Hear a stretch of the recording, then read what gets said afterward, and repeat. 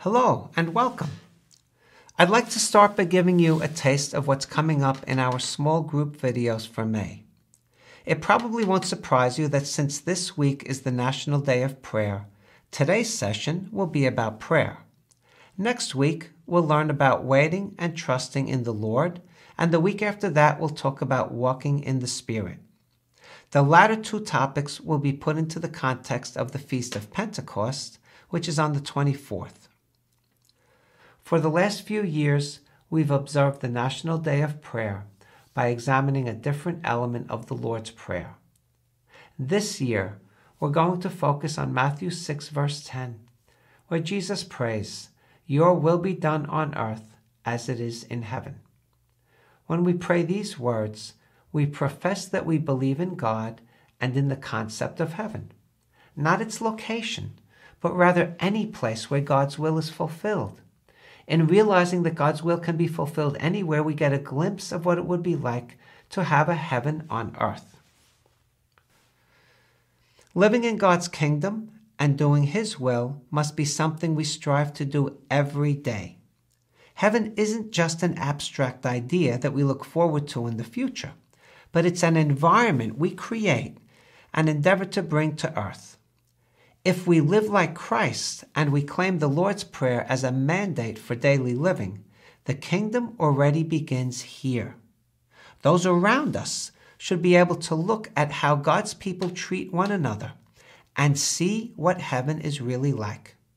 This representation of heaven should be so attractive that they want to share in it. Let us consider living in this way so that others are able to see the kingdom in us. So, how do we use Jesus' prayer as our guide? Your kingdom come, your will be done is such a, a small, simple phrase to say, but doing his will can be really difficult. How does one actually live their life this way? Maybe we can break it down into three steps. Step one is to know the will of God. What does God want me to do? In Isaiah 55, verses 8 and 9, we read, As the heavens are higher than the earth, so are my ways higher than your ways, and my thoughts than your thoughts. As we pray to our Father in heaven, let's ask that we become more familiar with His ways and thoughts. When we do, we're able to see things more from God's perspective. Our chief apostle described God's will as the universal will to save. He loves us, He wants to save us, and offers us a pathway in life that leads us back to Him.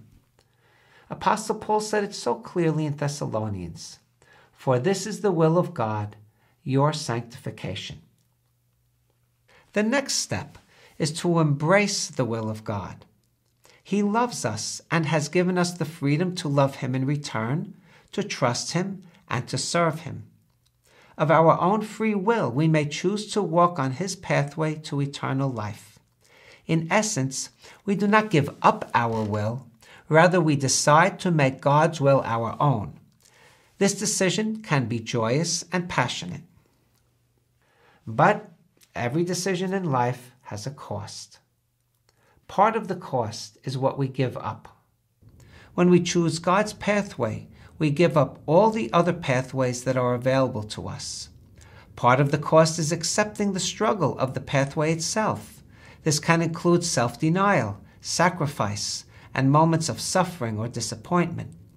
But out of love for God and to attain the prize of eternal life, we are willing to pay this price. Jesus' life is the perfect example of these three steps. He understood his Father's love for fallen mankind and his desire to save us. He willingly chose to be the outlet for God's love and the means for our salvation. In the Garden of Gethsemane, we see Jesus the man struggle with the price of his decision to do God's will. He prayed, Oh, my Father, if it is possible, let this cup pass from me. Nevertheless, not as I will, but as you will. As the writer of Hebrews puts it, we do not have a high priest who is unable to empathize with our weaknesses, but we have one who in every respect has been tested as we are, yet without sin. Like Christ, we may ask God to make our path easier. but our chief prayer is for the grace and strength to bear it. No matter what, we want to embrace the mission God has given us. Jesus lived his life in loving obedience to his Father's will, and he wants us to do the same. Loving God doesn't always mean that we like his plan for us. It does mean that we choose to accept it.